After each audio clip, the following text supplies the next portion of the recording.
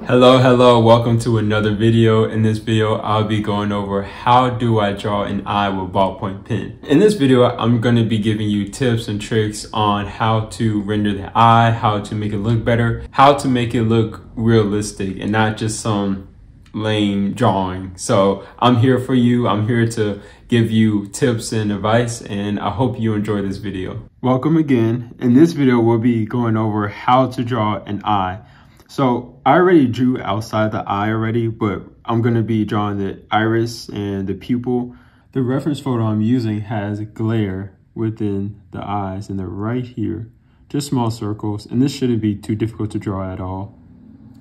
When I draw the pupil or the iris of the eye, I fill it in with the, just hatching, just like the skin, I hatch so I'm going in with the first layer. And it doesn't have to be super perfect, but just make sure that you make the lines consistent.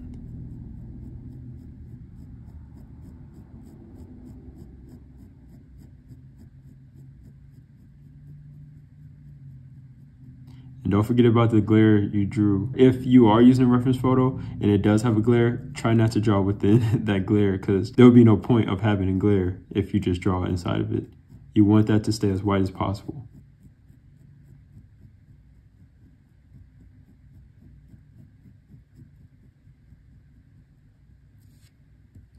For this reference photo, you can't really see the pupil, but I can see it just a little, and I'm gonna draw my outline for that.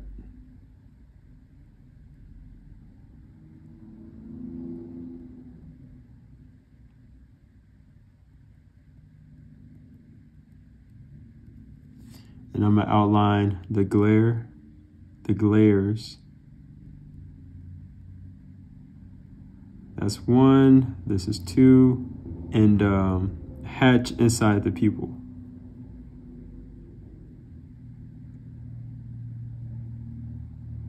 Now, it doesn't have to be too much contrast, so like you don't have to make the pupil super dark, the rest of the eye super dark. It just has to be noticeable.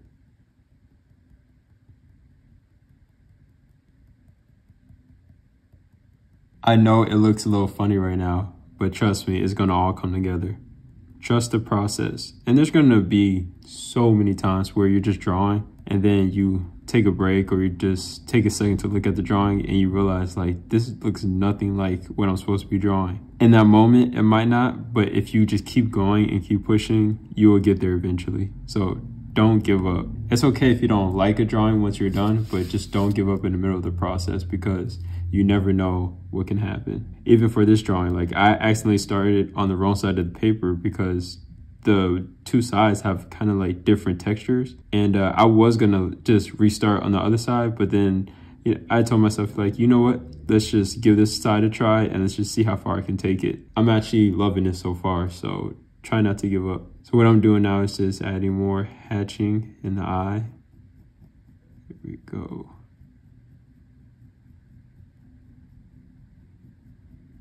So this eye is super dark, but I'm just taking my time, just slowly uh, darkening the value of the eye and uh, not rushing it.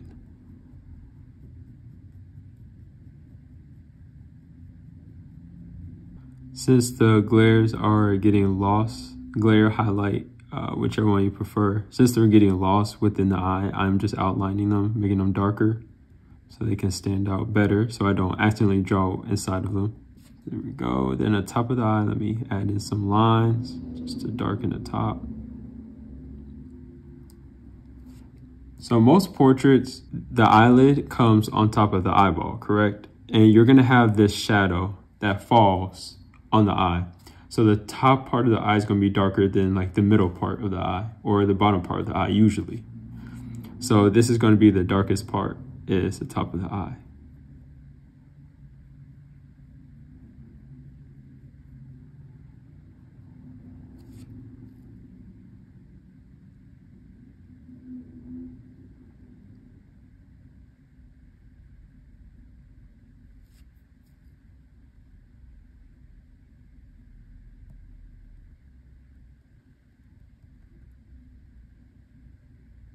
I'm gonna lightly outline this side of the eye, the iris.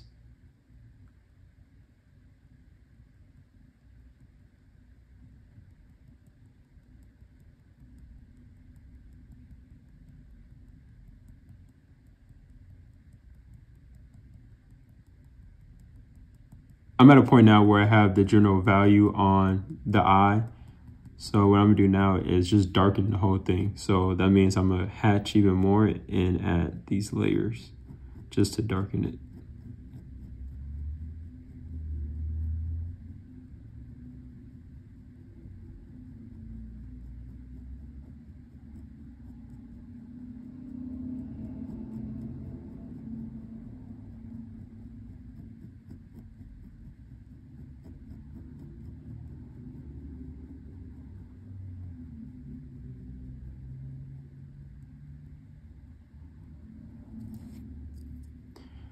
As you see, the pupil got lost, so it's time to darken the pupil again.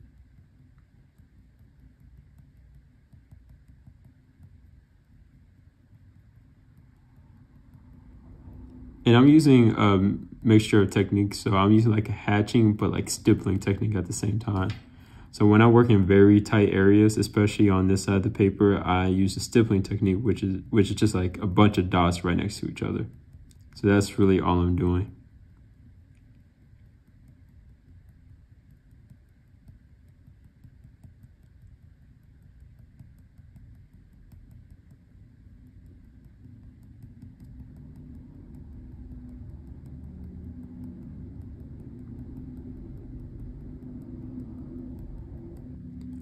Darkening the outline of the iris.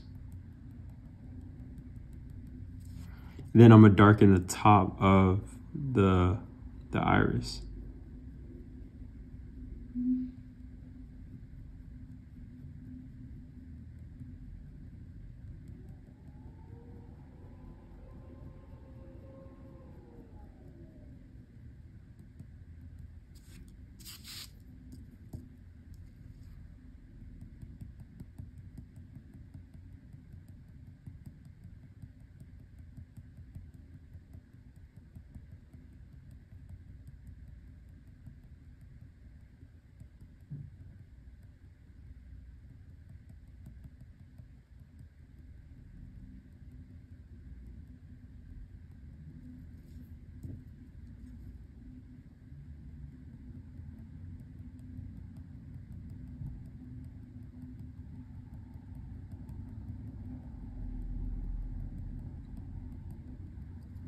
You see how I slowly darken areas and I just don't rush into it? It's always good to do that. Take your time. Especially with working with pen, like you're not able to go back and really erase these dark areas. So take your time. And this actually teaches you a lot of patience. This like drawing in general has taught me so much patience. And I use patience in my everyday life now just because of all the things I've been through with, you know, drawing portraits. There's life lessons in everything. Now this area right here needs to be dark as well. I kept the light because I wasn't too sure how dark I wanted it since I didn't do this part yet. But now I definitely need to darken this area.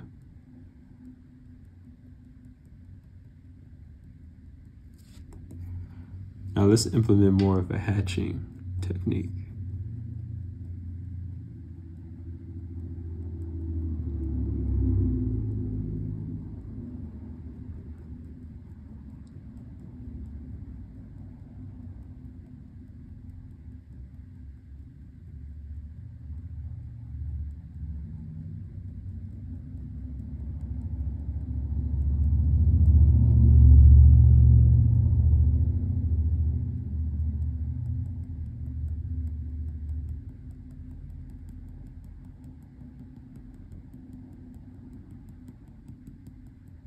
Now you can see the eye really come together, but something still looks off. Do you know what that is? Do you know what looks off about the eye? Although I'm almost done rendering this part right here. Well, what looks off is that like I didn't work on any other parts of the eye. Like if you just do the iris, the pupil, like the dark area of the eye, then that's not enough. You need to add in the shadows to make the eyeball look like an actual sphere. And I also need to work on this part. right here. Creating that line. And also darkening this line right here.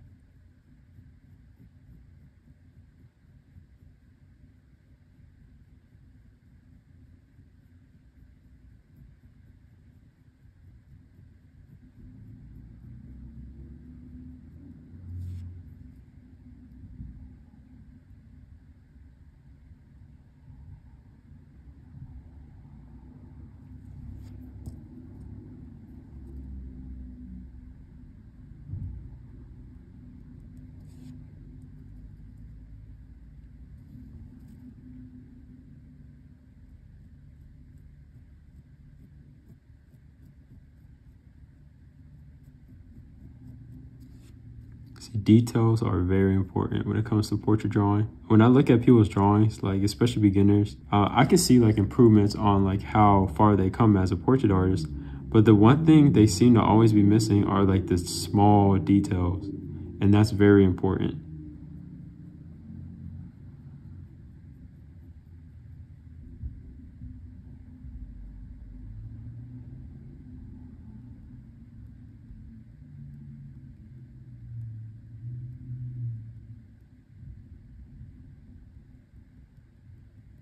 So this area right here is called the lacrimal caruncle. I hope I said that right. But it's basically this, the glands of your eye. And there are going to be so many different highlights and like contrast going on right here.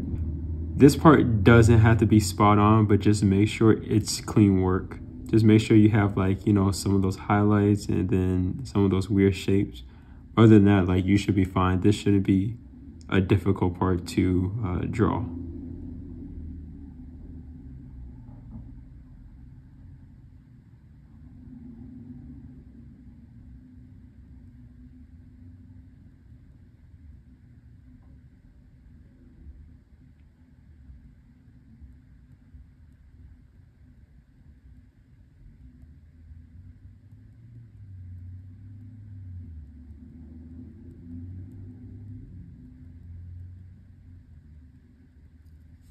You see, I'm done just like that. I might go back in and do like a little more details with this, but that's all it took really. And then I also have to add a very light shadow right here.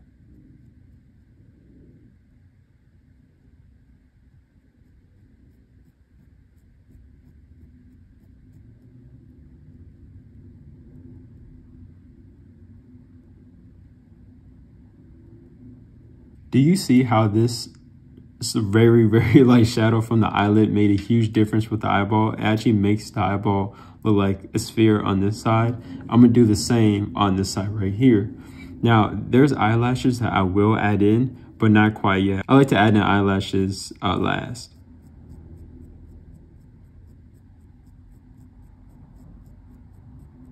So adding that light shadow up here, bringing it up just like that.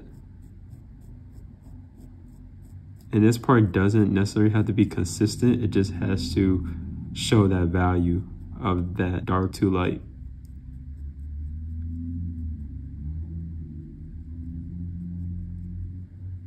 Here we go.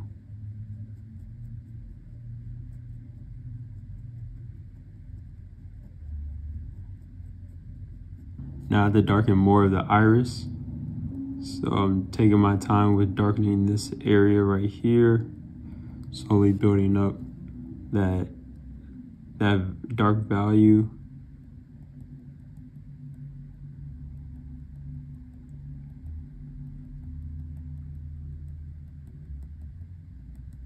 And I am using a stippling technique at the moment.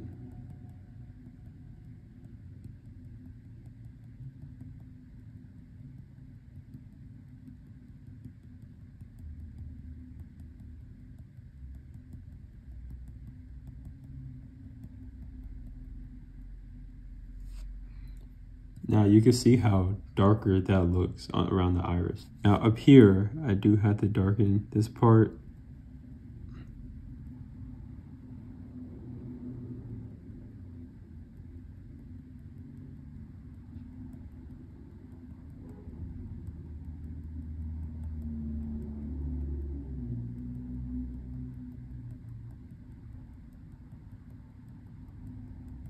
Now I'm gonna lightly add in this part right here because I feel like this needs to be filled in more.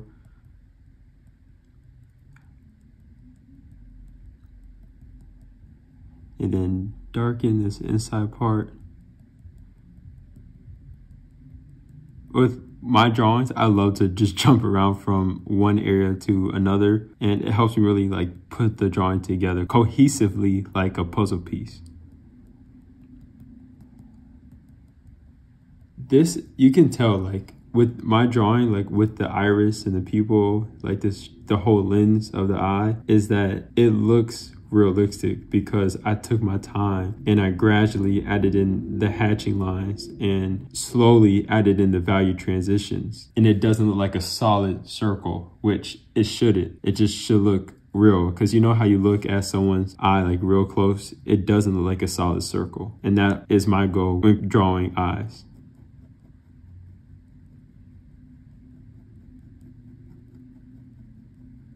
I feel comfortable enough to darken this part right here. Just very lightly though, not like too much. But I just felt like this needed to be darker.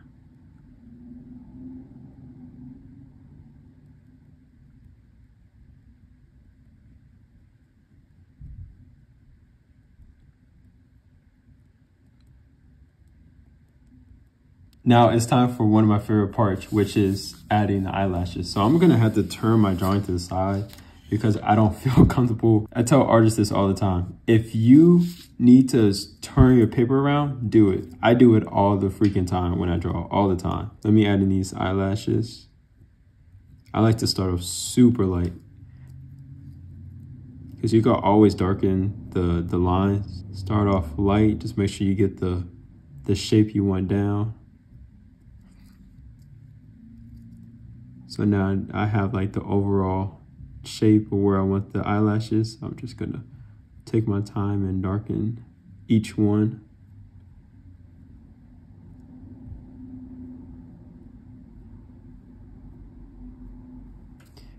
And that's good for now. I don't want to go super dark.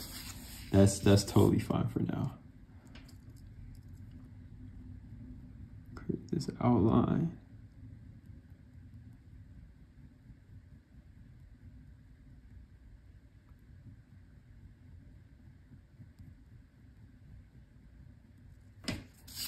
Go.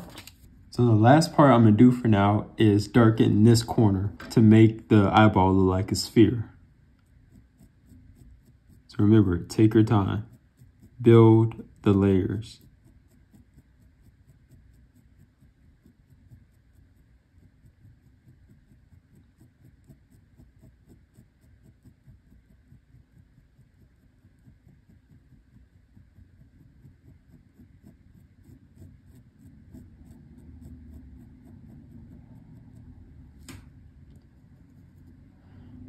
Come down and darken right here.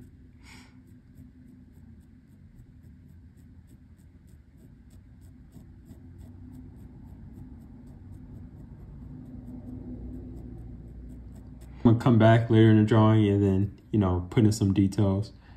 But other than that, this is how you draw an eye. Like you can tell if you watch all the way from the beginning to this point now, you saw the actual transformation and you saw it really was not that hard to do. You saw every single step and you can do it too. It's really not that hard. Start off lightly. Like if I had to give you a tip before I end this video is start off very lightly with drawing. Just like these eyebrows. I barely drew them in, but I'm gonna come back and darken them. You just want the overall shape and you want to build the values on top of one another very gradually, like very slow. I might do a part two on working on this eye right here, just so I can show you guys again. And there's nothing better than repetition, like watching and learning something over and over again so you can implement it into your drawings. Like and subscribe and comment. Tell me what you think and tell me what you would like to see next.